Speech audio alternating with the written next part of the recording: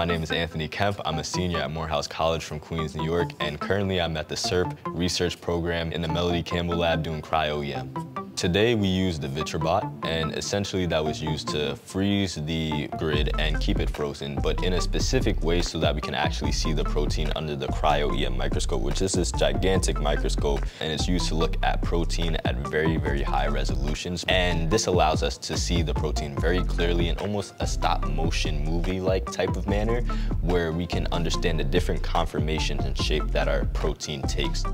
Long term for Anthony, that's a very good question.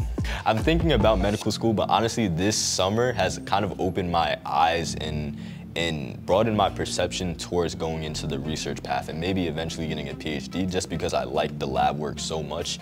And my lab mates, again, shout out to the Melody Campbell lab, has been amazing.